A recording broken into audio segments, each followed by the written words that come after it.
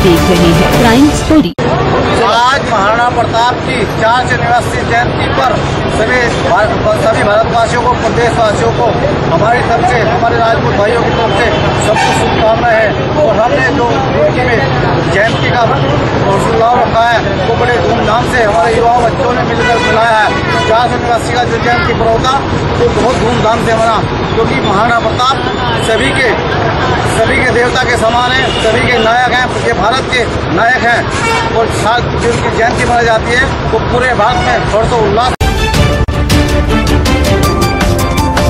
आप देख रहे हैं प्राइम स्टोरी